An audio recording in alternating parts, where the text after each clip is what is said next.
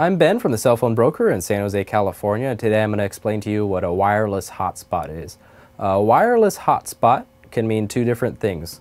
It either means you can access the internet wirelessly on your computer, or you can access the internet wirelessly on your cell phone.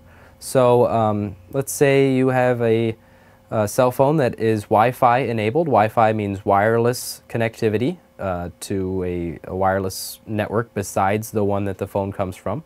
Um, you have a wireless phone that has Wi-Fi on it and you go into the airport and you decide that you want to get on the internet and you want the fastest data speed that's available. Um, what you can do is you can connect to a wireless network, a wireless Wi-Fi network, and then from there um, access the internet. Also, some companies allow you to um, have a special router in your home.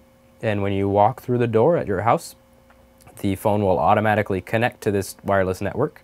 And then you'll have boosted cellular coverage um, so that you know sometimes your your cell phone doesn't have good coverage in your home. This uh, wireless router will enable you to, to have that. So i'm ben from the cell phone broker and that's what wireless hotspots are